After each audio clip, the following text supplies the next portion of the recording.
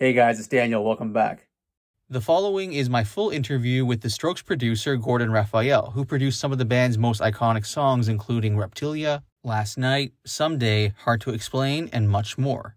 Gordon Raphael produced the band's first two studio records, Is This It and Room on Fire, which are often considered the band's best two albums. He also produced the band's debut EP, The Modern Age, and had begun work on what would become the band's third album, First Impressions of Earth.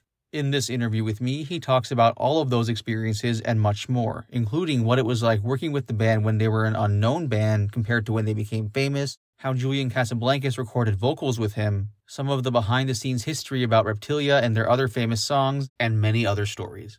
All the interviews on this channel, including this one with Gordon Raphael, are self produced and self financed. If you guys want to support and help me make more videos, the best way is to subscribe here to my channel. Thanks for watching. When Julian was recording his vocals, was there anything unique that he would do that was different than other vocalists you've worked with? I will say that one of the highlights of Room on Fire was that Julian sat next to me in the studio in the control room. He didn't stand in the live room, he sat next to me in a chair. So I was just like shoulder to shoulder with this guy while he was singing every word on that album. That was incredible, just incredible. And then I write about this at length in my book. Just the amount of tone that that guy can make with his singing instrument, the sounds that come out of him. You know, that's why everybody loves his him as a singer. It's just such a powerful voice and his rhythm is so uncanny. He is so in control of his rhythm that he can push push push go like rushing ahead of the rhythm and then end up perfectly on the rhythm and you don't know why it's it gives you this excitement but he knows how to do these micro subtleties with rhythm and tone that make him a jaw-dropping singer really just a one of a kind. So cool. And generally like how many takes would he do to get something down? Was he a one or two take kind of guy or did you do a lot of takes with him? I think for the most part of what we ever worked on he would sing a song and you do it perfectly. And i go wow julian unbelievable you know, we already had the sound of the mic before he did it. You know, we did a sound just so the sound of the mic was perfect. He would just kill it. And I go, you know, as far as I'm concerned, we could print that. That there's nothing wrong with it whatsoever. He goes, Yeah, I got 10 other ways I was thinking of trying this. 10 other ways. What do you mean 10 other ways? Okay, give me another track. And he'd do it again. Perfect, but different than the first time. He did that 10 times. And then he would want to know which of those takes, which of those moments fit each phrase perfectly. So I would say he would do 10 takes, and not because it took him 10 tries to get the song right, but he had 10 different ways that he could approach every song. And he wanted to try them all so he knew which was the best way to do it. Did he ever have any sort of expectation as to which of these ways would be the best? Or was it always kind of, let's just try this out and see what works? Not only did he not know which would be the best, but I'm sure knowing him, the, the bit I know him from working with him, I'm sure he thought there were three other ways he could also do it that he kind of wished he would have tried.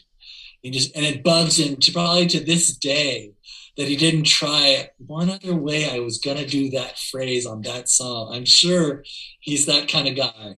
That is really cool. I mean, were there any particular types of mics that he would like to use, or whatever you provided him, would he just do with whatever you, you gave him? I got one funny story. The microphone I had at my studio, we weren't rich we, we weren't rich when we built my first studio. We had I think a ten thousand dollar music instrument budget. We needed to get the computer sorted and the recording software sorted, and people gave us some stuff, and we bought the rest and I had this like $400 condenser microphone from Audio Technica. And that was the microphone that he did the EP on. And he did the parts of the album on it. And I borrowed a $3,000 Neumann microphone from my neighbor at the studio across the way. And I set it up. Julian came to do his vocal session that day. And he looked and he goes, What's that? I said, Julian, that is a Neumann microphone, man. That is a really good microphone. He says, I don't like the look of it. I don't. I get, a, bad feeling about that. And I said, "No, man, trust me. This microphone is so awesome. You're gonna love it." And he looked at me very doubtfully and a little bit angry. I said, "Just try it." He sang like three notes, And I said, stop. I stopped fuck this. I knew I hated this microphone. Get that thing out of here and get me my mic back. So wow. That's my that's my vocal microphone story. What is Julian like as a person just to hang out with? It's very fun. Like he's extremely uh, focused. If you talk with him, he really listens to you, and he's very warm. I'm of a different generation than him, and he also grew up in New York City, like really in the thick of things, in the middle of things. So he was exposed to a lot of ideas very quickly, mm. very big ideas. And when you meet a real New Yorker who grew up in New York and kind of worked their way through that system, they're always kind of impressive. They're like, wow. The creative relationship between the band members, is he the one directing everything or is there like an equal split with the creativity from your viewpoint? Uh, I don't know what's happening now. You know, they've been through many different evolutions. I think right now it's a very much of a cooperative where everybody's really, really just working on the same kind of level, inputting ideas. I have reason to believe that when I worked with them in the first couple of records, that Julian was the composer of the band, and everybody brought their own ideas to his compositions and they all, they loved his song so much that they were willing to like sweat until it was perfect. So there was a great camaraderie of working together with a singular vision. Hmm. but as the main composer you know julian would often be the one that says these are the chords of this song and here's the counter melody i hear and i have a great bass line for it that's interesting so, you know, going back to what you were saying earlier about how upfront Julian was with you about the microphones, that was very early on in your relationship. So, were you surprised at all that that early on he would be that upfront with you? After the EP, I wasn't surprised at anything. The EP, the EP already showed me everything I could expect for the whole time I ever worked with those guys, which was that everybody was going to want me to do things at the same time, and they were all going to be vocal about it. You know, Fab was going to tell me things about Julian's vocal. Julian was going to tell me things about Fab's hi hat. Nick and, and Albert were going to want things brighter, notes quieter. You know, there was going to be a lot of onslaught of requests. And I had to really work hard to make sure that they each got a chance to hear those requests. So once I got into that, that's what everything was like all the time. So, I mean, I, I guess because some people would have probably been put off by like how upfront they were. Did that upfrontness actually make you closer with them that you were able to handle it? it did good things for both of us. When they realized that they could tell me things and I looked like I didn't really think that was a good idea, but I did it and then it sounded better and like and then I stopped questioning them as much. I think they really loved me for that, that I would actually do the things that they wanted rather than, you know, be a boss, be like the big man who knew everything. I would actually give them a chance to try their ideas. I think that worked really well. And I learned a thing or two because there were definitely ideas I thought were just, why would you do that? And then when I heard it, I go, yeah, that's cool. Hmm. That's awesome, man. So I wanted to ask you about Reptilia. When you were recording that track, did it strike you as though it was going to be a big song, or did you think it was just another good song from the band? I thought it was one of the most interesting and one of the most powerful there was a lot of really incredible stuff on that album, I thought. Hmm. With Reptilia in particular, I love the guitar sound on that track. How did you get the yeah. guitar sound on that track? I think that was just I mean, there's no trick. The only the only trick guitar track I know of is on 12:51.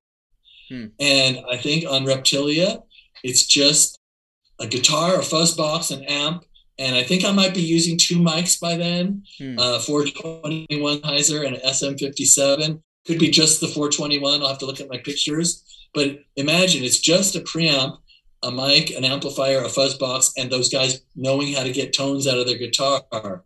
There was no technical tricks, no effects, no reverb added other than what might have been on the amp or not. So it's a real testament to just getting the tone and capturing it. Did you get any sort of demo before working on it, or was that another one of the tracks where you just kind of did it? They played it for me one time, and then we started recording them. I didn't have any reference or any demos or anything to listen to. It's just the way we always did everything is each sound had to be kind of perfect before we started recording. Hmm. So what's the snare sound like this? Is it this? no, it's not right. We need a different snare drum. You need to tune it differently. You need a different microphone. You need to put it in a different place. You need a different EQ on like everything was set before we recorded the song. Hmm. It wasn't like they recorded the same way and then later we made new songs out of it. It was like everything had to be done. Luckily, it's two guitars, bass, and drums. So we're talking about 14 microphones or something like that. That each one had to be set perfectly before they would even start tracking the song. Did anybody in the band expect that song to be big? Because it is their biggest track. So I'm just curious if anybody had any thoughts it was going to be like the biggest one. I don't I don't remember ever hearing a discussion from anybody. I was never part of those kind of discussions. Hmm. I think I remember them debating which should be the first single. I remember being privy to them talking in the same room as me and chatting among themselves about what they thought the first single should be. Hmm. But I never heard anyone say, This is our big song. This is our best song. There was never any talk like that on any song they ever recorded with me around. Hmm. That one song was better than another, or that this is the one that's going to blow people's minds. I remember just liking it and liking the guitar parts. And like when I watched that video, I think that's one of the coolest music videos I know of, Hmm. and one of the coolest Strokes videos because you can see each person doing their job. Like this is what the bass is doing. You can see the fingers and all four at once, and the singer. Like it's so microscopic examination of how they made that song. You can just see there's like nothing left to the imagination. It's not a technical trick. It's just look what they're doing. Can you believe what they're? And then Julian's just ferocious on that video. Everything about his singing is kind of represented, at least at that time, in the way he delivers that vocal. So I remember that my personal first exposure to the band that I remember of was Rock Band. Do you remember that game Rock Band? It was like Yeah. it was like Guitar Hero. Were you or the band aware that they put Reptilia on that like on the original release for Rock Band? I certainly wasn't. I didn't. I knew it existed, Rock Band, but I didn't know what it was. Um, I've never played a video game in my life. So, really? I mean, I played Pong when it first came out. Oh, okay. Uh, That's cool. That was like an arcade game that was w- with a computer with a dot that went Yeah, back and yeah, forth. Boop, boop. I thought that was really cool. so, do you remember recording last night? I remember recording. I, re- I can vi- kind of feel like I was there recording it on the EP and on the album. It was the same as recording almost all the other songs on the album except for three, which was guitar, two guitars, bass, and drums playing together. And when that is finally done correctly, later adding the vocal and working on the vocal like maybe 10 different takes of the vocal and then working with Julian to find out the best phrases from each 10 takes, like Olympic games qualification. That's listen cool. to that, listen, all, listen to all 10 of the first few lines, get rid of one. Now you got nine, get rid of one. Now you got eight. So it was like, that was the process. Yeah. That's so cool. So how would you compare the process for recording last night on the EP to last night on the LP? What was similar and what was different? Uh, the thing that was similar was that uh, all the techniques we used were similar. The thing that was different was instead of taking like one day in total, like if we did three songs in three days, I would average we did one song a day spread out over the weekend. Maybe we took four days to do it uh, on the on the album. Hmm, very cool. And what did you? What was your initial impression of the song when you first heard it in the EP form? Did you like the song?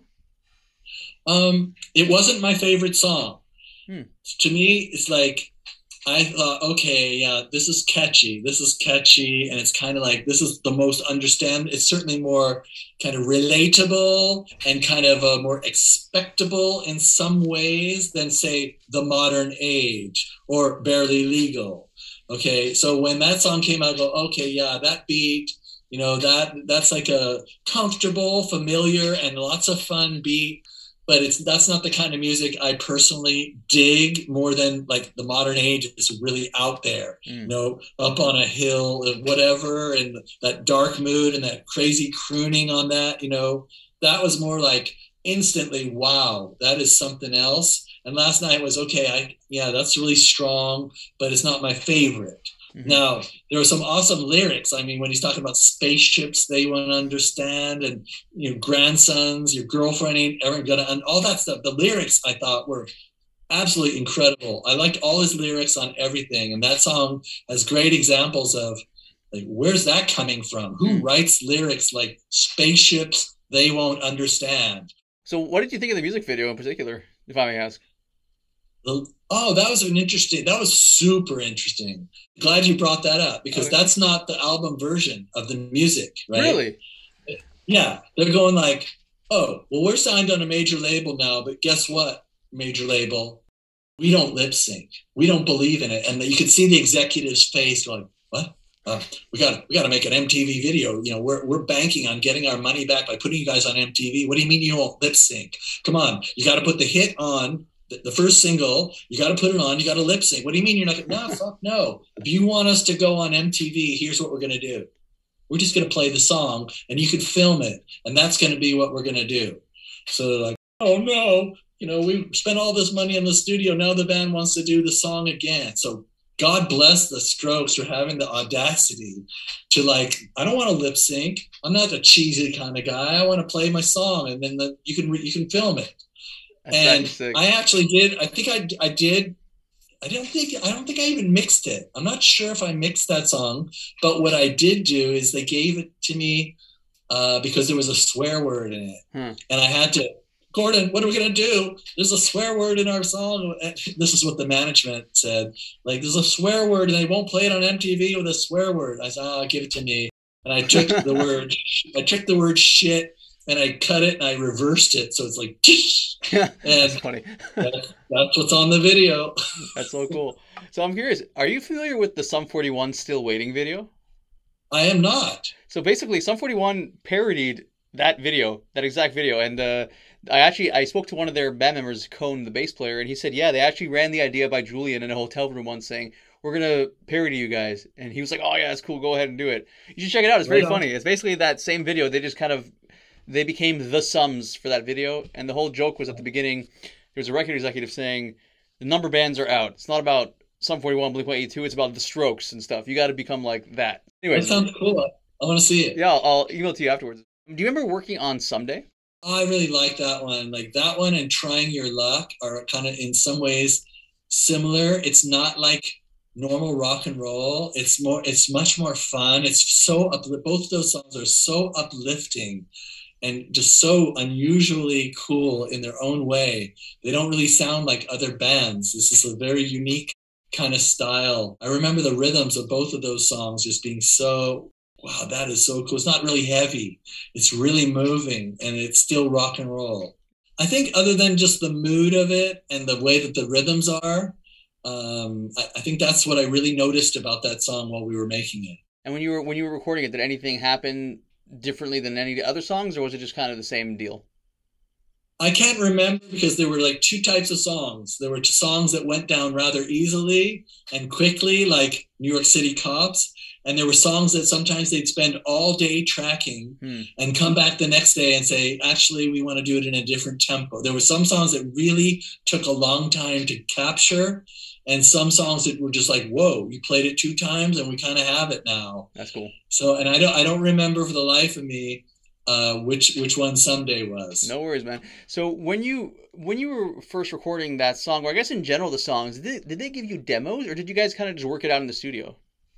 I did not have demos. Um, I think the only demo I heard is when Julian took me to his house to play me hard to explain the demo so that I could under see what what brand of drum machine he was using and Hmm. hear what a song with gu- guitars and drum machine sounded like in his view. Cool. So that was the only time I heard a demo. And the rest of it was like, what are we doing today, guys? Uh, we got this song called Is This It? Uh, it's a new one. We're going to have to work on it a little bit while we go along. Okay. That's cool. Anything special for the mics? Yeah, this one we want to do a brighter guitar sound. Okay, let's go. So it, it was a lot of that. When it first got together, we were doing one microphone on each instrument, except for the drums. I used three microphones for the whole drum kit. So mic on the guitar, mic on the guitar, mic on the bass. Three mics on the drums and a mic in the room. That's the sound that they liked, and that's the sound that got them kind of noticed. So on the album, I think I added one more one more mic on the drums, and that's about it. I went from something like nine channels on the final product to eleven on the final product because I borrowed an extra converter, the one more channel. so, do you remember producing Hard to Explain? Very well, very very. That one, Mm-hmm. that one is very easy to remember because it was recorded. It is one of three songs on the album that was recorded very differently Okay. to the other ones. In which way? Well, you know, I have a book coming out. Yes. I have- Tell me whatever I you can. Tell me whatever you can. Yeah. I will say that Julian asked me, how in the world can we make how in, I want to use a drum machine for these songs. You know, I wrote them on a drum machine and I love the drum machine, but what the hell can I do because I don't want Fab to feel bad having to sit out. Hmm. And because I was listening to industrial music all through the 90s and even in the early 2000s, I said, dude, turning a drum into a drum machine is like a piece of cake, man. I, I'm a synthesizer player. I can make sound, any sound, do anything. Just play the drums. I show you what. So I knew that for drum to sound like drum machine, I couldn't have guitar bleed. I couldn't have the normal live sound that I had on the rest of the album. I had the drums play by themselves so that I could really destroy them and build them up as me- as a machine with nothing but like drum machine sounds. That's cool. And so that was the main reason that three songs on the album have a different texture, is because we use this technique. And I remember immediately coming up with an idea of how to do it and then sh- working on the idea with the guys listening and then seeing their faces when they actually, dude, that's Fab playing the drums. That's the real drums, but it sounds like Julian's drum machine. Like that was, I loved watching their faces and everybody loved that moment. So I mean, what what about you in particular? Was that the first time you did something like that with a band, or were you seasoned in that area? most of the stuff I'd been working on in my own music was like drum machines of every 909 drum machines, 808, DMX, like all those, and even the uh, CR78, like Hmm. all those Roland and Oberheim drum machines I've been using since the 80s, you know, really, really just all the time. And then in the 90s, when I wanted to do industrial music, I layered on real drummers playing against those drum beats. So you'd have the drum machine kick with the real kick, and it was very hard to do. Like even good drummers, it's very hard for them to play exactly like a drum machine and make sure each beat was there. So from doing that a lot, it wasn't far stretched to well now try to make the drums sound like the drum machine. It's just a matter of uh, there's a couple tools I need. I need a overdrive into the preamp. I need lots of EQ. I need compression. I need gates, and that's how I did it. So what were the other two songs that you did the same technique for on that record? Well, should I say it or should I let people do their own hunting? I'll give one of them. Okay. And other people, Soma. Soma, okay. And I guess people will have to look up the other one. Yeah, yeah, or yeah, just see if they can use their ears because it's quite obvious. That's cool. So, what was it like working on 12:51?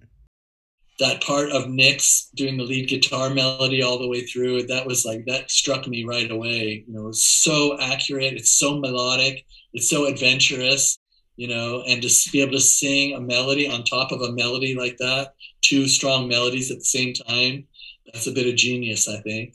That's cool. So when you were recording and producing it, because that's a little bit different than normal, was it challenging for you to get that done properly? No, but that was one song where I actually had an idea of a production trick on the guitar. Hmm.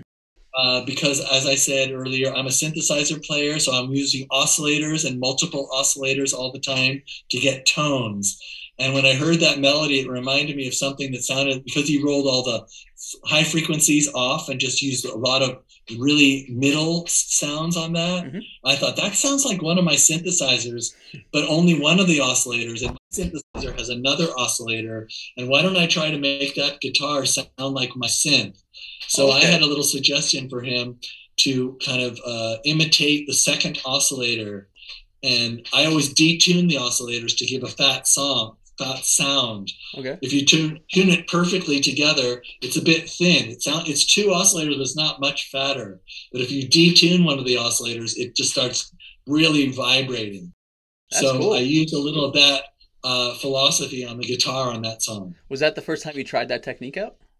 It's the only time I ever tried that technique out. That's so cool. But I had a I had a very clear vision to do it. Like, oh, that sounds like my ARP synthesizer. Why wouldn't it be funny And, and they looked at me like, well, you're crazy. You know, we don't do overdubs. We don't do doubles. I said, just try this thing. Detune your strings, the t- uh, just a touch, play it again and tell me if you like this. And everybody went, oh, that's cool. That's dope, man.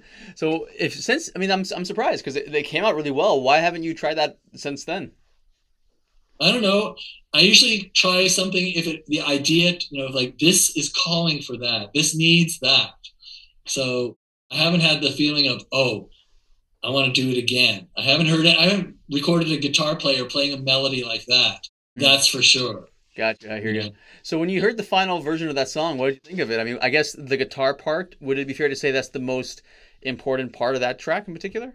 Uh, like everything else, you know, their music is counterpoint. It's not normal rock and roll with a rhythm guitar hmm. and a guy putting a couple leads in between the vocals, and you know, it's like everything's a melody. There's three or four melodies happening on every song: the voice, the bass, the two guitars, and even the drum is a bit melodic. Hmm. So it's very strangely written music. It's not like normal rock and roll. It's just the writing of it made the song special, and the band's dedication to really playing it like their life depended on it. That's so cool. So because that was an experimental thing you were doing, when you were doing it, were you sure if it was going to work out, or were you thinking, "Hey, this might not work out, but let's give it a shot"? What was your mindset there?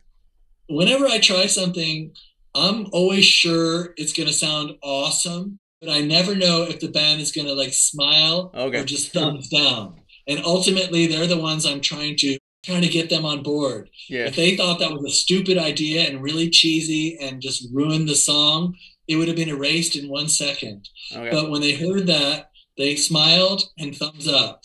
That's awesome. So, do you remember producing Barely Legal? I thought it was uh it was curious. It's like so strange, you know, the storyline in that. I like many of his things, they're like things that you could get a picture on each line, but why would those lines fit together? You know, like why won't he wear his new trench coat or whatever? You know, like where's this coming from? What's it all mean? It sounds cool, but what is he talking about? And what are I don't know. I thought it was really super challenging, very poetic. Really liked that song. That's cool. And how about the song "The Modern Age"? You said you were a fan of that one. What in particular did you like about yeah. that? I just like the lilt on it. I like the just the the power and you know they're playing really they're playing these kind of straight rhythms and offbeat rhythms and they're doing it so almost mechanically, almost like a machine is doing it. There's they're so good with the rhythms. Albert and Nick and they made such a groove on that. Mm-hmm that it's just undeniable. So do you do you recall working on that one in the studio? Do you recall recording that particular track? I recall recall both times. Yeah. And what was it like? Could you walk me through it a little bit? Uh, well, basically, okay. So I think that was the first song that they recorded in in the, for the EPs. It was actually the first moment I ever recorded them. That's cool. I saw them at the show, and as I said, they weren't my favorite band. I didn't really, I, I didn't really pick up on what they were doing. I just thought, okay, whatever. Mm-hmm. But they're coming to my studio, set up the mics, make sure they like the sound. Okay, what are you going to play now? They go out and they start playing that, and they play it five or six or seven or ten times in a row. And by time three, I'm going, this is cool, man. This I didn't have any idea what the vocals were going to be like. I just heard the music, and I thought this is really something. That these offbeat rhythms and this this jam that they're doing is so good. And then when he started singing it, wow, it was just like, whoa, he's this young guy and he sounds like an ancient guy who's been through the mill. You know, he just sounds like some old guy has been through it, you know? Hmm. So, when the Modern Age EP was released, there was a lot of buzz around the band. Did you guys expect that to happen, or did that kind of catch you by surprise? I'll speak for myself. Hmm. Like, that thing was a demo, you know, because they were playing free shows you know, trying to get publicity in the Lower East Side and the East Village.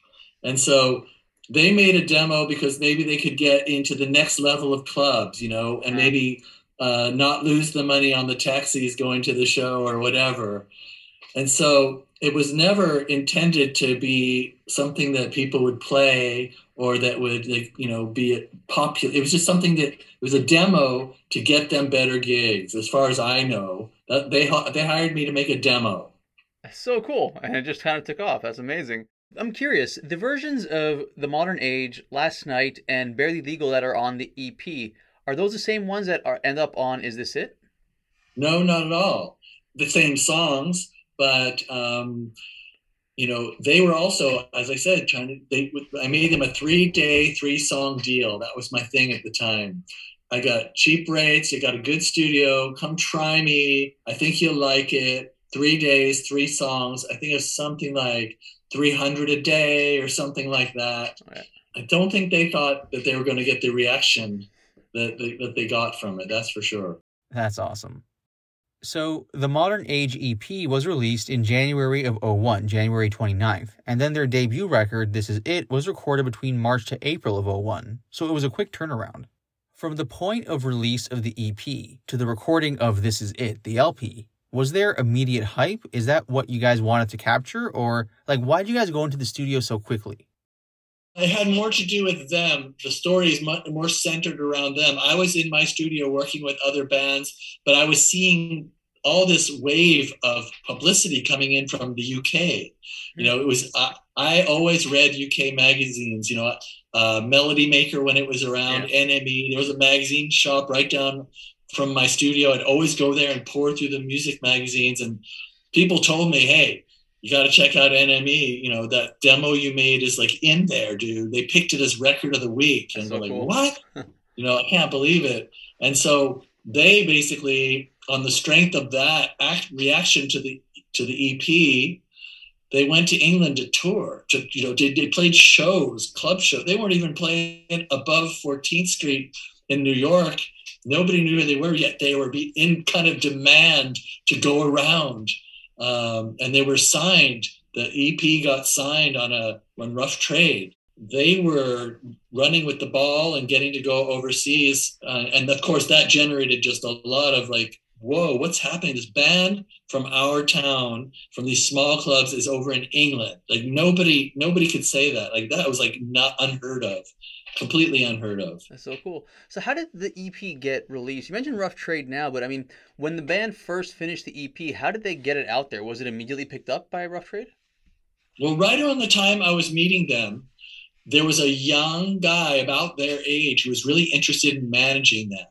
And he worked at one of the kind of most trendy clubs for live music in the East Village, and Lower East Side, called Mercury Lounge, which was mostly a place where signed artists came from other places to tour and do showcases for the New York music industry. So it was kind of a bit of a snobby kind of. I didn't really love shows there. It was very good sound but it was always kind of like industry people with their arms crossed, you know, yeah. mostly checking out the other industry people, mm-hmm. not necessarily looking at the band.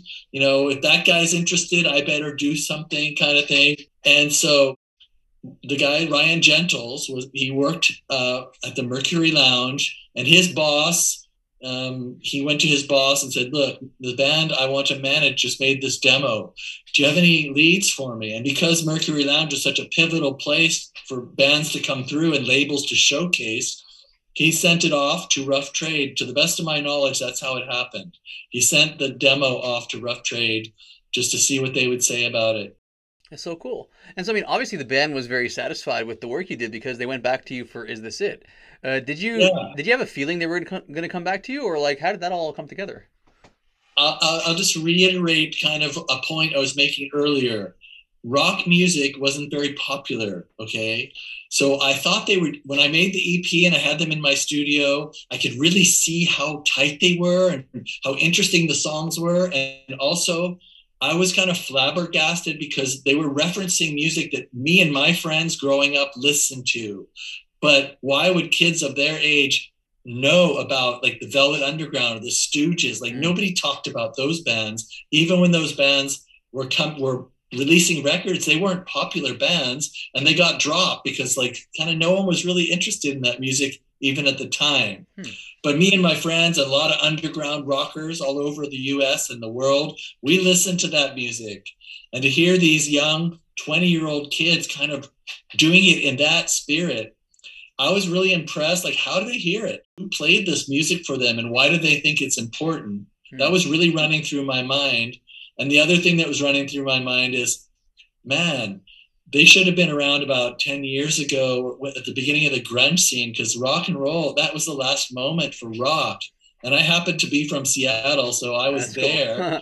and i felt i felt like these guys you know if they if, if a guy at a A&R at a label in new york hears puts on the tape and hears an electric guitar strumming they're just going to toss it in the trash can. They're just going to go like this is what are we going to do with this this is like so far behind the times. This isn't jungle. It's not pop. It's not all this electro stuff.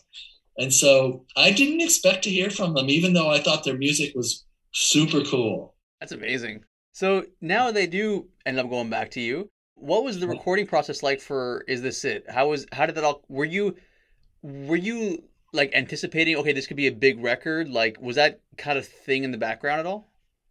I think that by that time, as you said, it was only they released it in late January. If they came to me in April, that's January, February, uh, March, April. I don't know. It's a couple months later, whatever. In those couple months, there was already so much fire buzz. You know, it was like the whole world is kind of talking about that last thing we did, and they're kind of waiting to see what we're going to come up with as an album. I never had that feeling either. I always had the feeling like we're going into the basement, we're going to work really hard, and God knows how we're going to get it out in the world. But this one was like, dude, do you realize that if we do a good job with this, that everybody's going to hear it the minute it comes out? So and sick. It, it, it was it was great. And for me, it was like party time. That was like party time. Like, wow, I'm so happy about this. I'm so excited. For them, they had a completely different kind of they were excited but they're so they're so focused and they're so serious about their music. They're like we have a large responsibility to do our music accurately. You know we need to we have one shot and we better work as hard as possible to make sure we take advantage of this opportunity.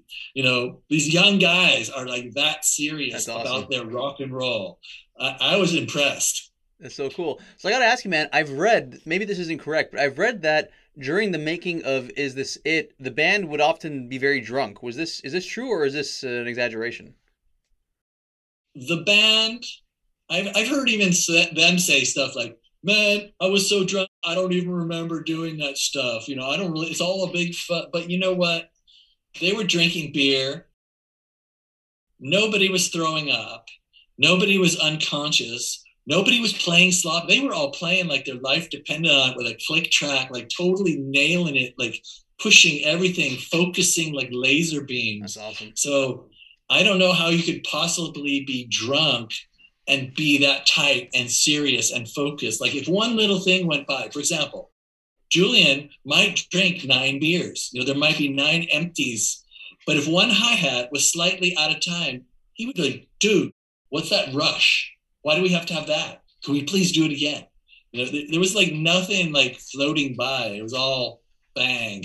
That's awesome. So, Yeah. what was it like working with them in the studio? The first EP was you said it was over three days. You guys did the EP. So this is the first time with uh, is this it? They actually have like kind of an extended period to work with them over the course of a month or whatever. Were you kind of experimenting with which types of mics to use? What's the best setup, or did you already have an idea as to what would be the best thing? It's a combination of two things. One is that we realized not only did they get a great reaction on that kind of sound we had before, which was the sound of eight microphones. You know, we only, I only had one 888 at the time, Okay. which is the interface. So I could only use eight mics to record a rock band.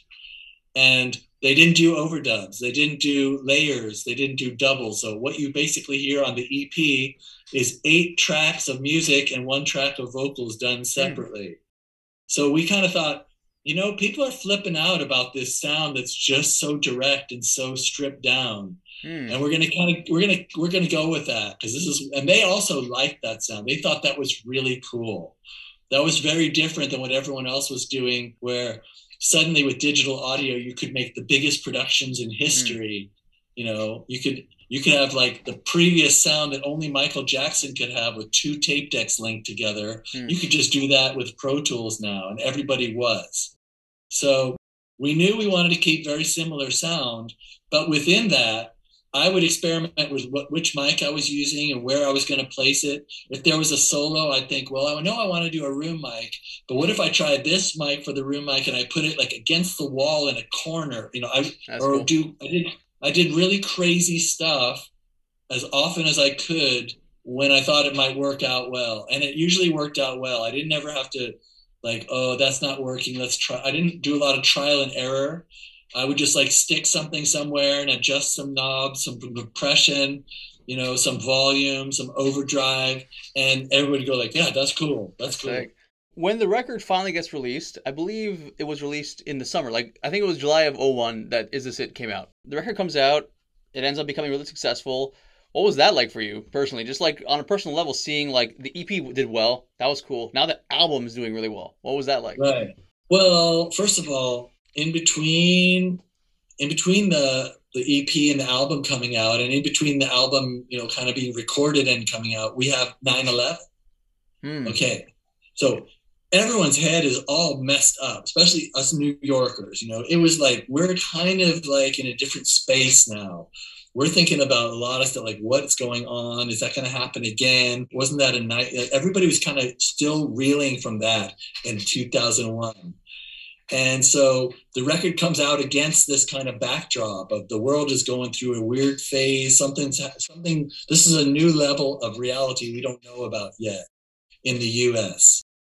And so yeah, when the record comes out, I think it came out in Australia, then either UK or Japan at the same time, and it didn't come out for in America for a while longer.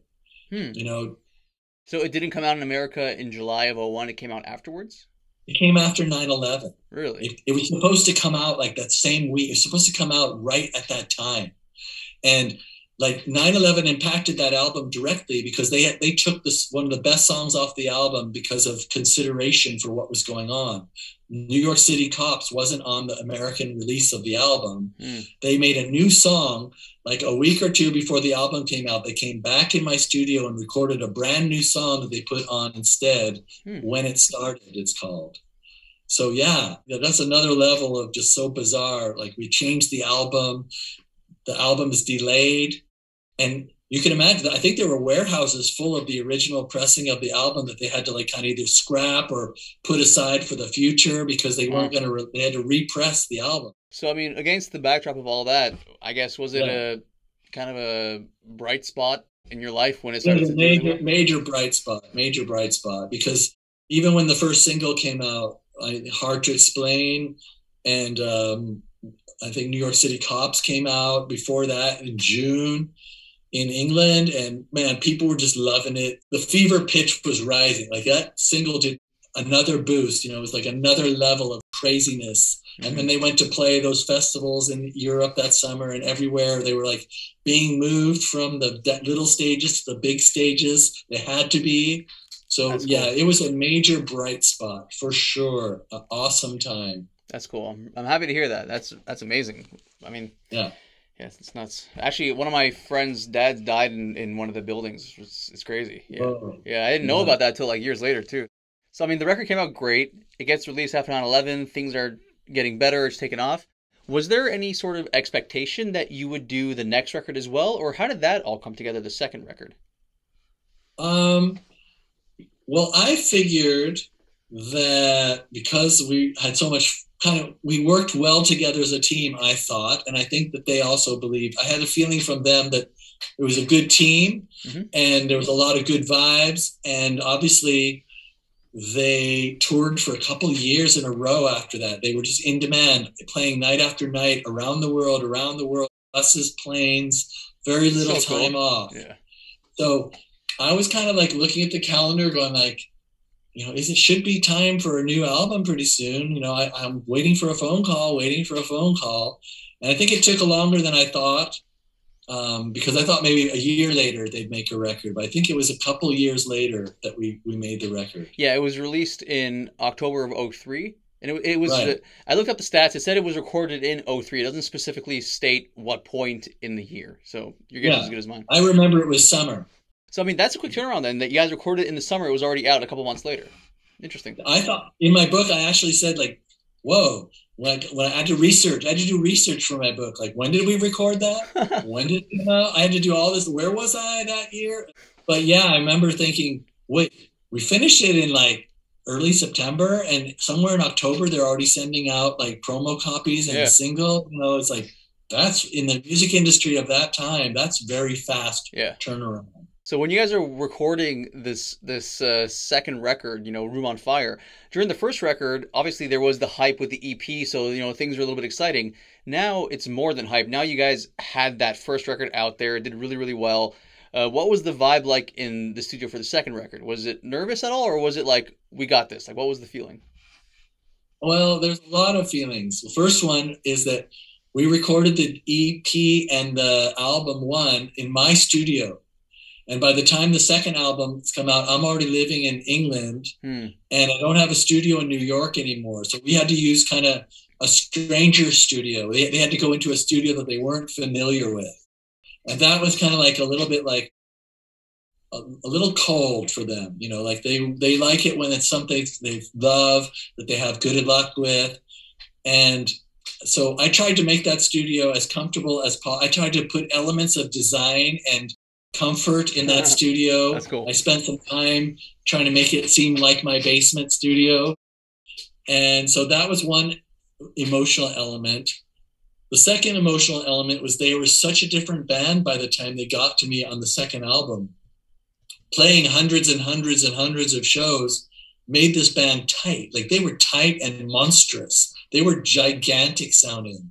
And when they came to me on the first album, they were really interesting and they worked hard to be tight, but they were kind of like young and like kind of, it was, they weren't like these, they weren't the musicians they were when they walked in for album two, like Mm. this hardcore. It was more like Zeppelin. That's You cool. know, they played me. They played me the album. They said, "Sit down. We're going to play you what we want to record." And they played me the songs, and I was just jaw dropped. Like, what? Watching Nick play those solos, watching Albert's rhythm and Fab's rhythm be just like so much higher than it had been before. I was like, "Wow, this is a force." And yeah, then there's a psychology of like, okay, we have this album that everybody loves. What are we going to do? you know how can we possibly cope with that we just pretend that we we don't know or you know are we are we fighting against ourselves to try to top it it was a it was a bit psychological and um, it turned into they were already a little bit pressurized on the first album because they thought we might have a chance well on the second one they're like ah, how are we going to live up Hmm. to the first album how are we going to beat it how are we going to like impress people again can we do it That's really cool. So when you, I guess, as the producer, were making this record, was there any extra pressure on you to be like even more meticulous with all the different stuff you're working on? On both records other than the sheer amount of effort and concentration and physical stamina i needed to hmm. work that many days those long hours it was really overall extremely like awesome and spectacular. I'm sitting there this big this one was a big studio with a huge ssl board big speakers a huge live room a collection of microphones you know and preamps that were just beyond my wildest dreams. So it was like That's cool. and I had assistant engineers and engineers, so I had help. It was really hard work, but I was super into it. Like I thought it sounded phenomenal. My favorite's Under Control. Oh, okay. I mean, that song is just just bizarre sounding. Hmm. To me, it sounds like the room is wobbling. It's just a bunch of people playing in a room, but it sounds like it's like kind of taking off. It's like getting ready to take off. It's a very strange third dimensional sound that's created because of the walls and the band playing together. That song really captured uh, something in the room that was happening. So in general, you were saying a little bit earlier how because there was now this expectation that this is going to be a good record, there was I don't know if it was more pressure, but th- there was more awareness, so to speak, of like we know this is going to take off when this gets released. So when the f- album's finished and is getting out there, were you guys like full of anticipation? Were you a little bit anxious? What was the feeling leading into the release?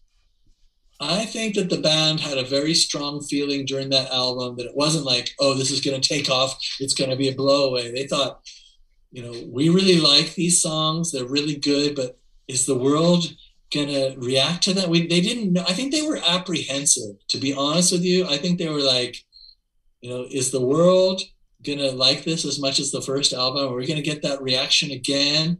And I also think they were like, are we gonna have to tour for two more years? Mm. Do we have to go back on the road for two years? I think there was some apprehension and pressure on the band. Hmm. Um, it wasn't like jumping up and down and clicking their heels together, but neither was is this it, to be honest.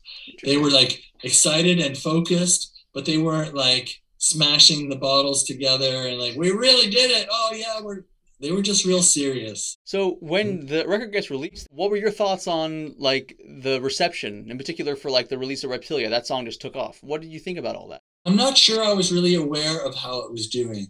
Hmm. Uh, one thing was that I was living in England and I had noticed that the European and English audiences were way, way far ahead of the, of the American audience for loving the strokes and being fans and being vocal and being uh, in love with it. Hmm. So at the beginning of it of Room on Fire, I think that US was like starting to like just starting to kind of get on board. You know, it wasn't just LA anymore and New York. It was like kind of it was getting to be an American thing. They were starting to do well in America, but they were it wasn't like they were not at the top. They were still having to do a lot of work to kind of conquer America. They went on tour with I think Kings of Leon and really played heavily around the US. So I think they were really trying to like, come on, let, why can't we make America as excited about us as Hmm. the UK is like dropping dead when we go there? What do you think was that turning point where they finally kind of broke through in America?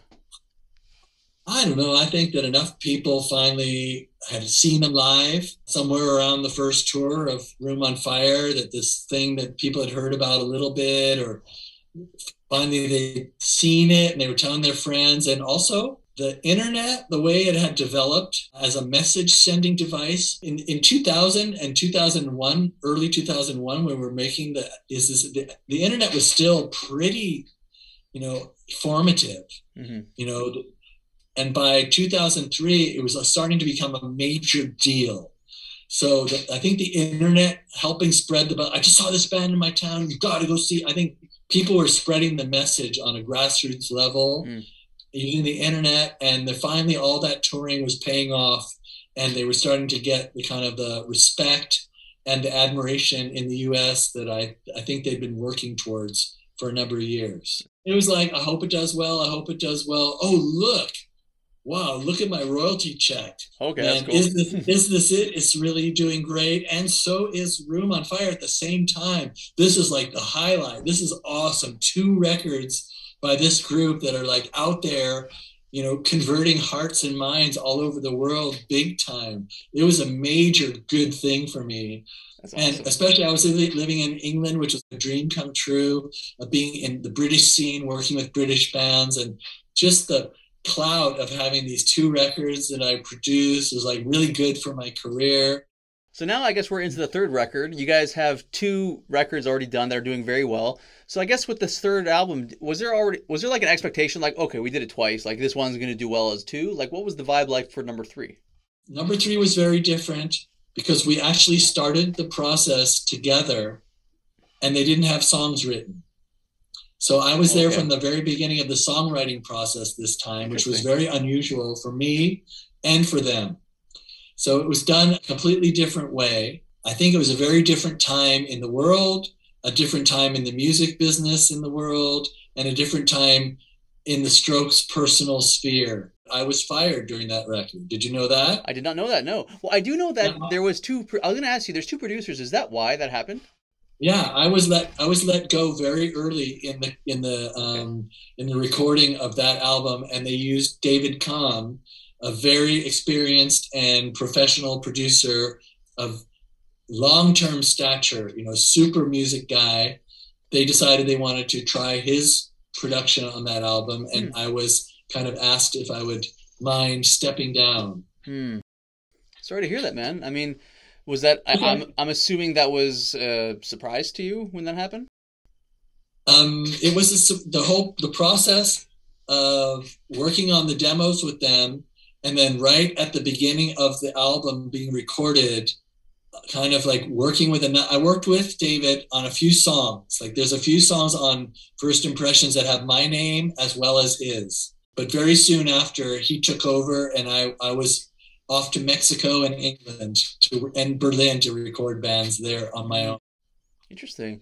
So I mean, if if you don't want to discuss, it's totally up to you. But did your relationship with the band suffer because of this? Like, did you were you amicable, or how did that all play out? Very amicable, because I come to music as a musician and a composer and a songwriter. You know, I, I learned how to record doing my own songs, and the last thing I would want to do is work with someone that I decided actually I don't want to be working with you right now. Hmm. I would not want to have that person in my band. So when they told it to me, it was a bit of a shock. Mm-hmm. I was sad, but this is their music. This is their decision. I have plenty of things I can do. They put me in an excellent position. I respect them and love them forever for being part of my journey. And on we go. The future started then, you know these guys, I had such great regard for them and I have great regard for artists. So it was like a personal thing that I could see why, you know, I could a professional. I've been contracted for this. My lawyer is going to wait till my lawyer finds out about this. You guys will be sorry. That's a professional kind of thing. Personal is like, yeah, I can see where you're coming from. If you want to try something new, God bless you. You know, you're an artist. You need to try something new. Yeah, I'm a little stung. I'm not going to be getting the royalty check for this album. I'm not going to be known as the guy who produced the third album. But you know what? That I will deal with, and let's go. I hear you. Know, it was a personal. It's kind of a personal thing. I hear you. Was there any signs that it was like just a total out of nowhere kind of deal? Like, do you know why they didn't want to work with your sound anymore? Like, what was the different sound they were looking for?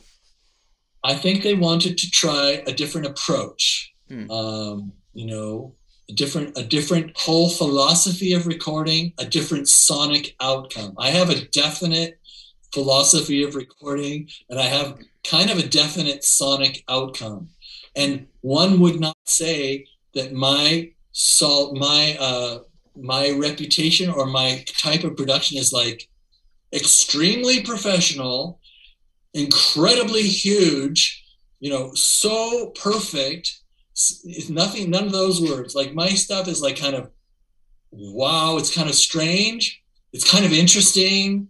Uh, it's kind of full of excitement and hmm. freaky stuff is happening all the time, you know. And they had three albums, three records with that on it, and maybe they wanted to try somebody that was like, you know, I know when things are accurately done, and uh, we we can make this sound huge and professional together, guys.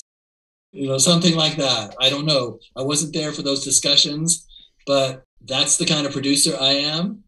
Hey, fair enough, know? man. Fair enough. So, I mean, you said that some of the stuff you worked on did end up on First Impressions. Uh, do you recall yes. what it was? Like, do you recall which songs exactly that you had a hand? I believe I believe there's like like Electricityscape. I might have a credit you can see the credits somewhere. I think Heart in a Cage. Uh, I don't remember. I did all the songs as demos hmm. with the band. And then when they re recorded it, I was there for like the beginning of three of the songs. Interesting. Do you remember recording the demo for Heart in a Cage? Yeah, I remember that because it's such a strange lyric. Yeah, such a strange lyric. And what what was that like? Like, what did you think of the song? Like, what did you think of the demo version? And then, if you heard the final version, what how would you compare the two? One sounded sounded like a Gordon Raphael production. It's kind of like all over the place mm-hmm. and a bit like you know unusual. And one was like super gigantic and like in your face, powerful rock and roll with gigantic drum sounds. Interesting. Hey, that's fair enough, man. So I mean, yeah. do you remember recording the demo for Juicebox? Yeah, and what yeah. was that? What was that process like? Well, all those demos were very slow. Like you come in and record one day a little idea, and then come back a couple weeks later and record the next part. So they were all kind of done piece by piece. The demos were done like in little sections and built up, like painted mm-hmm. in. Whereas the album was kind of like more like they already had the song, they had a framework to work mm-hmm. from. The songs were very new and under formation when I was working on them. Hmm. Do you remember working on the demo for Electricityscape? Yeah, for sure. What was that like? ah, I just remember just the riff and the speed and tempo of it, and trying to get these wild guitar sounds is just really bright and ripping.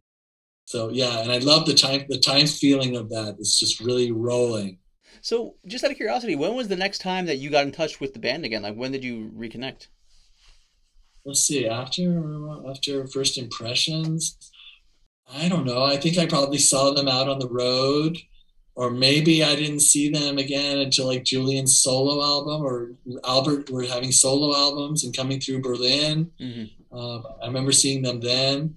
I don't know if I saw any first impression. I might have seen a first impression show in Berlin. That's cool. So I mean, you, you mentioned that between from Is This It to Room on Fire. With Room on Fire, you use a few more mics than Is This It. With the demos for uh, for First Impressions, was it the same miking approach you were doing, or like did you progressively use more mics with each time you saw them? Well, one of the interesting things that I got to do for First Impressions was that band hired me to come before the demo start and build them a studio. Really? So I've already built a couple studios co-built and built my own studios. I co-built the Transporterraum where we made uh, Is This It and Modern Age, and I built my own studio in London. But now I had like the stroke size budget to build a dream studio.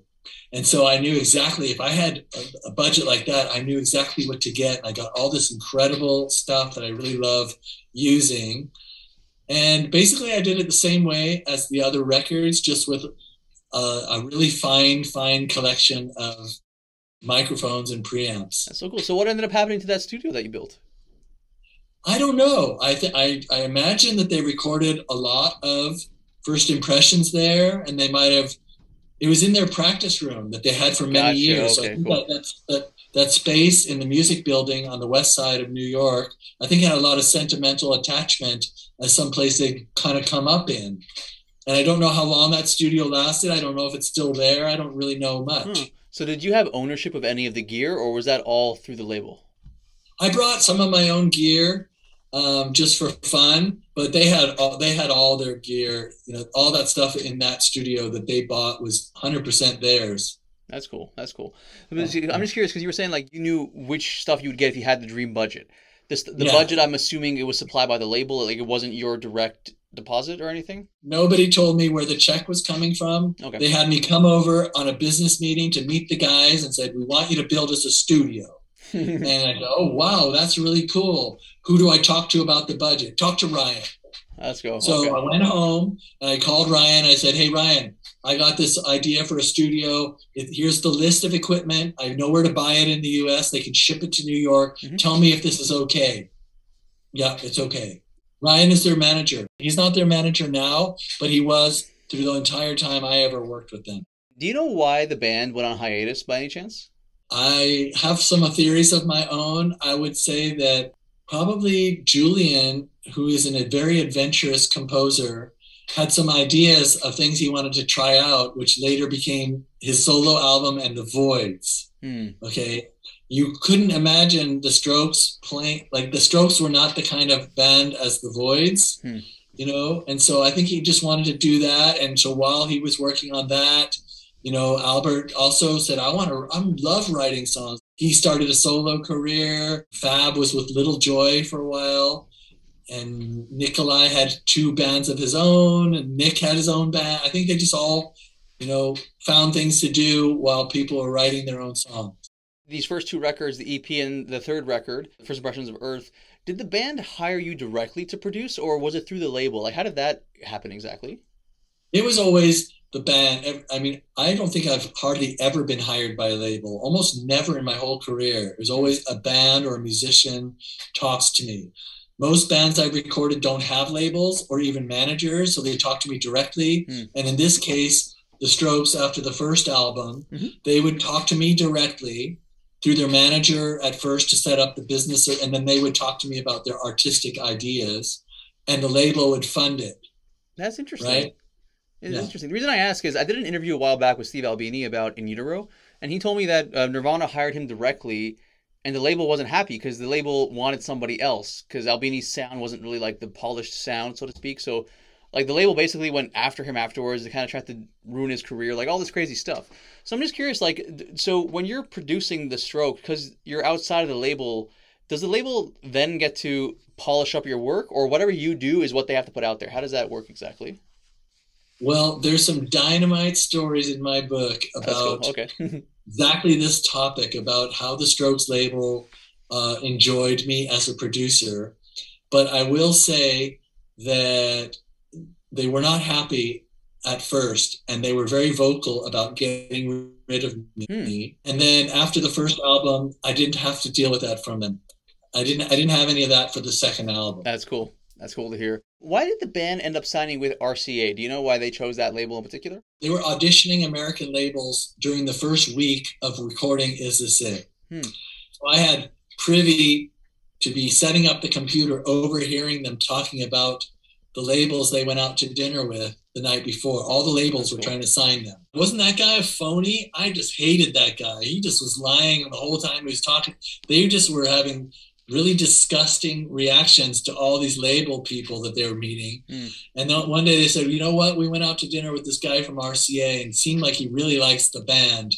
Like we could tell he likes the music and he wants us on the label. So he was the one guy, they were the one guys, set of guys that didn't like turn their stomach. The name of my book is Up from the Basement with the Strokes. That's cool. You know? Cool. And it's kind of like that's the feeling. Like I'm down in the basement every day recording whatever bands are coming through, having a great time. But you know, who knows how you get music out in the big world? And wouldn't it be interesting to go to see another city or work in other places yeah. and travel and kind of have people know about me? Walk down the street and have people say, "That's the guy who produced the Strokes album." Cool. Like that, that was always a, I always wondered what that would be like, and I got to experience that um, with the release of Is This It and Room on Fire and Regina's Soviet Kitsch album. All three of those records kind of gave me the ability to live a different kind of life.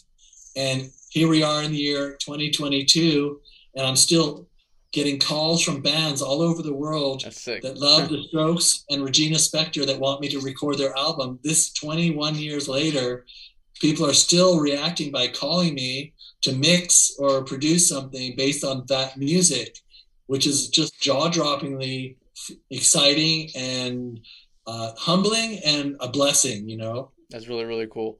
So I mean, I guess for you personally, like, was it also kind of a sense of like vindication? All these years of struggle, it finally paid off. Was there a feeling like that for you? There was definitely a feeling like all those years of making strange sounds and in people's basements and garages and just like dedicating my whole life to like tweaking with knobs and putting tones together. It's like finally I made something with a group of people that um, people are smiling about and patting me on the back and like i'm even making a living. I'm able to pay my rent and travel and buy equipment and make my own studios. So i was really happy that i had done all those steps of working with sound and music you know. So now, I mean, the band is they're out there touring on this on Room on Fire, the second record. At this point, are you guys like, uh, I mean, because cell phones are still kind of relatively primitive at the time, but were you guys like keeping in touch at all, like during the in between periods between records? Mm, most of the time, the way I'd keep in touch is if, like, I knew they were going to play in Seattle, so I'd fly from England to Seattle to see them in my hometown and bring my mom and dad, or uh, you know, bring people or I'd see them in Berlin, I'd see them in England. So I'd go to their shows and I'd get to go hang out with them backstage and catch up with them. But I really never had, had a relationship with them where we're like, hey man, what'd you eat for breakfast today? Hey, how's it going? Which town are you in, guys? It's like I was off working with other bands and they were doing their stuff. I was working on my own music or touring with my own bands. They were doing their things. And yet there was always this really good feeling when I would see them. There's always a friendly camaraderie, like brotherhood kind of thing. Mm-hmm. That's that I think it's still going on. That's good to hear. So going back to the modern age EP, when you work on something like that from an unknown band, and then there's all this buzz around it, what does that feel like for you? I guess I've been working in the music industry for a couple of decades uh, before that moment happened and uh, making lots of music, playing lots of shows. And I never experienced, I always thought that there could be something like that. That reaction is what you'd kind of want from the world. Mm-hmm. So when I worked with the Strokes and that happened, it was kind of the very first time I ever felt that in something I was associated with. And it was kind of monumental. It was something I was looking forward to. And I certainly didn't expect it from that demo. Hmm. I was very surprised, but also it was a feeling like I've never had before, and in some ways never had since. It was just a moment in time of extreme excitement for sure. That's so cool. I mean, a lot of people can't, can't, would never be able to say they did that. So that's that's amazing. You got to actually be part of something like that. So how did the Strokes hear about you in particular? I mean, you guys are both in, I'm assuming, New York City. Is that how you guys came across each other? Basically, I was in New York City with my band called Absinthe, Mhm. and we were looking for somebody that could really do a good job booking shows for us because, like all the other bands at that time, bands weren't the most popular thing Hmm. in town at that time. In the year 1999, 2000, you know, electronic, jungle, hip hop, um, acid jazz. That's what everybody was talking about, and that's what was everywhere. Bands were kind of like a holdover and a bit out of fashion, but there was a bit of a scene from bands that had moved to New York from all over the world trying to make it together, trying to figure out what to do. Hmm. And usually, what they did is there were three or four clubs on Ludlow Street that they could play at. That was about it. There wasn't a lot of other options for playing your own music as a band in New York at that time. Hmm. So I met this booking agent through one of my band members named Carrie Black. Yep. And she said, Come to this party at Luna Lounge. Uh, you can see what I do in case you want me to book your band. And so two bands played, and I was ready with my business cards for each band. I went up after the show and said, Hey, I've got a studio really close by. I can make a good demo at a good price. I think you'll like it. And the first band, which is actually the band I preferred that night, did not call me. Hmm. And uh, Albert Albert called me from the Strokes a day or two later. well, things work out really interestingly. You know, one of the interesting things about I was about to say about Radiohead about uh, the Strokes is that Albert's father, you know, he had the song "The Air That I Breathe" that inspired "Creep." Was there any connection between Radiohead and the Strokes at all? Like, did they ever interact in any way? I remember going to Tokyo where the Strokes and uh, Radiohead co-headlined a giant festival. Um, so for me, that that's the only thing I know that they have in in common. I think at one point I remember Julian telling me that he really liked the sound of some Radiohead albums. After Is This It was out, Hmm. he told me he really liked some of the production on the Radiohead records. That's really cool. So, was there any was there any mention at all ever about "Creep" in particular? Because there is that connection between Albert and that song. I've never I never heard the word Radiohead. Did you know about that though? The connection that's between the two of them. Never, never. I don't. I don't. Yeah, it's cool. So basically, the story there is uh, Thom Yorke. He based "Creep" off the song "The Air That I Breathe," which is a song by the Hollies, which is Albert's father. So Albert's father's label or manager or something, they ended up suing Radiohead for the song. So now Albert's dad gets payments for "Creep" whenever it gets Oh. played. Even though Albert's dad is, he's actually said publicly, like, "I feel bad about this. This is not my call. I didn't want this to happen." But yeah, such as I, I, I I remember that song. I remember the Holly song, "The Air That I Breathe." That's very, I, I mean, I didn't know Albert Hammond's dad wrote it. I knew he wrote "It Never Rains in Southern California." I think so. Yeah. Uh, Yeah, I know that song by him, but I didn't know "The Air That I Breathe" is by Yeah, him cool. too. That's Yeah, it's cool. That's cool. So I mean, I've also heard um, that the band are big fans of the Arctic Monkeys. Is this is this correct? Did they ever talk about that? Uh, I never spoke with them about the Arctic Monkeys, but I saw the Arctic Monkeys live in Berlin in one of their very first shows, like very early in their career. And I sat side of the stage and I'm like, whoa, Alex Turner can sure play the guitar. And that guy, Matt, can sure play the drums like nobody's business. You know, like I could see why penultimate musicians like the Strokes would respect the musicianship and songwriting and vocals of the Arctic Monkeys. I could see why and everybody everybody knows that the Arctic Monkeys uh, are in love with the Strokes as well. Okay, so it's a, it's a mutual respect. That's cool. I like that. So, when it came to producing The Strokes, would it be fair to say that your approach to them in the studio was somewhat experimental? I kind of built my whole musical outlook on experimenting.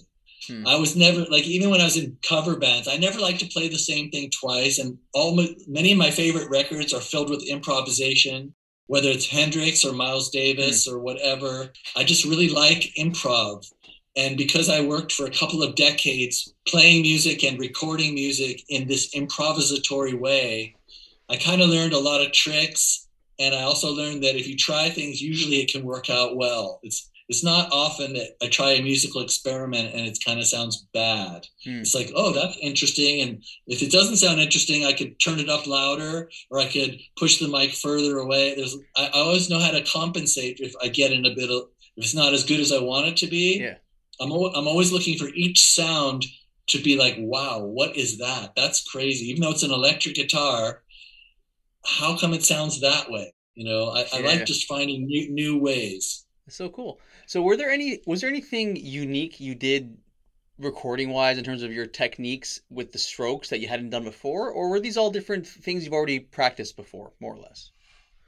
The main technique that I, there are two techniques that I had to work on and uh, I got very good at it over the 7 weeks that we recorded the album.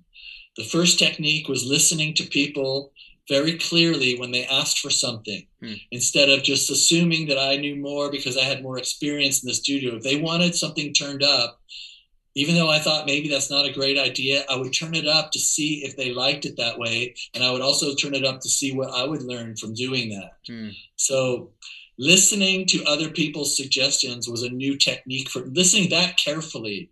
And because you know they, they really wanted me to know that they had a lot of ideas and they didn't want somebody to try to talk them out of their ideas. They wanted someone who could show them what their ideas sounded like so they could make the final decision on whether they liked it.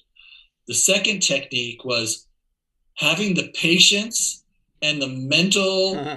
uh, ability to, to work on something till it's right and not let something slip by and say you'll fix it later or don't no one will hear that like just the fact of sitting there working on a part or a song or a take or a solo or a tone or every little aspect required doing it until everyone in the room thought it was right. Hmm. and that was kind of like mind-blowing to me. I'm a little fidgety. I like to do things kind of quick and in a flow and so for me to sit there and like, no, not that way. Oh, no, not that one. You know, to yeah. really sit there and work hard like that. Mm-hmm. I think I never did it to that level on anything I ever did musically before. That's awesome. Well, it paid off, man. I mean, the record sounds great.